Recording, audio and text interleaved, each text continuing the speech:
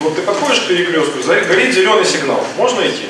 Можем. Вопрос простой только на первый взгляд. Его задал профессиональный автогонщик Андрей Пазычев. Он рекомендует ребятам, находясь на дороге, прежде всего думать. Если горит зеленый свет, то это не значит, что кто-то не пытается проскочить на красный. А за секунду автомобиль в городе преодолевает порядка 10 метров. Первый этап акции стартовал из Сочи в Краснодар через Туапсе и Горячий Ключ. В этот раз маршрут начался в краевом центре и проходил через Абинск и Крымск. Только собственным примером мы можем научить и воспитать наших детей.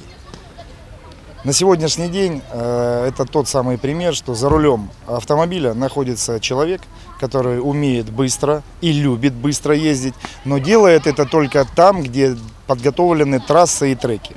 А на дороге, как и каждый из участников э, дорожного движения, обязан соблюдать правила. Андрей – победитель международных трофи-рейдов.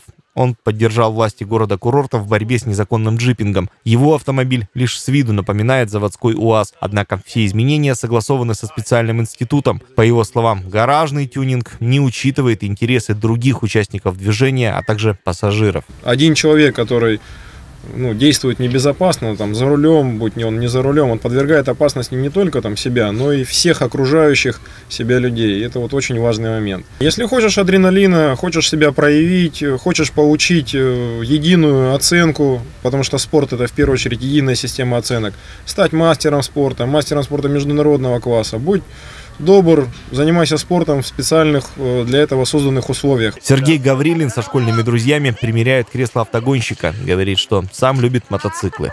Шлем! Шлем! Дайте шлем! Организаторы акции говорят, что сегодняшние школьники завтра станут водителями. Общаться с ними именно на этой стадии важно. Кроме того, дети влияют на поведение взрослых. Желающие смогут на специальном бланке обратиться к водителю, который нарушил правила. Письмо он получит вместе с квитанцией о штрафе. По словам Владимира Вяткина, Путина, такой аргумент порой действеннее любого административного наказания. В Анапском ГИБДД еще раз призвали соблюдать правила, быть внимательными на дороге. Школьники получили специальные светоотражающие значки, которые можно будет закрепить на одежду или портфель.